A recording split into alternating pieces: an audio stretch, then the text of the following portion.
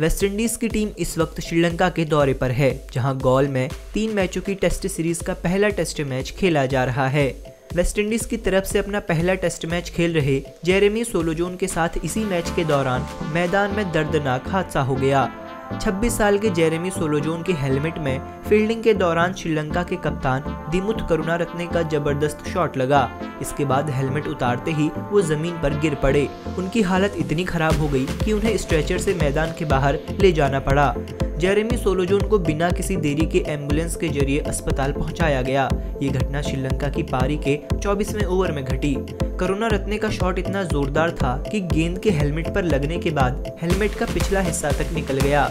बाद में West Indies cricket board ने उनके हेल्थ की जानकारी देते हुए ट्वीट किया कि उनका हॉस्पिटल में स्कैन किया जाएगा और हमें उम्मीद है कि वो तेज़ी से रिकवर करेंगे।